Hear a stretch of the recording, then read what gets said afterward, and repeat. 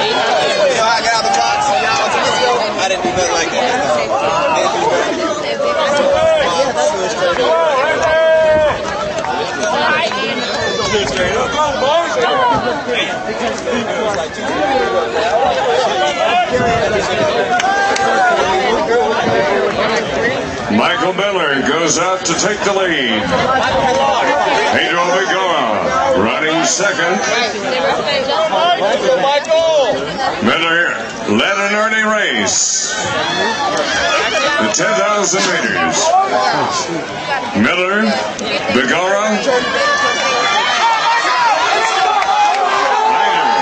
and now Chamoy moves up to third place.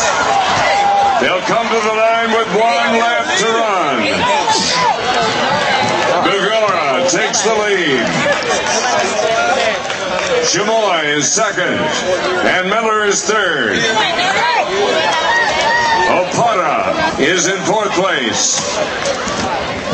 Watch now, Festus Chamoy. He's taking the lead. Festus Chamoy of Middle Tennessee State, the indoor champion at 800 meters, Go, Drew! has run a 149.48. The record is 149.40. Festus Chamoy. Festus Chamoy. Stephen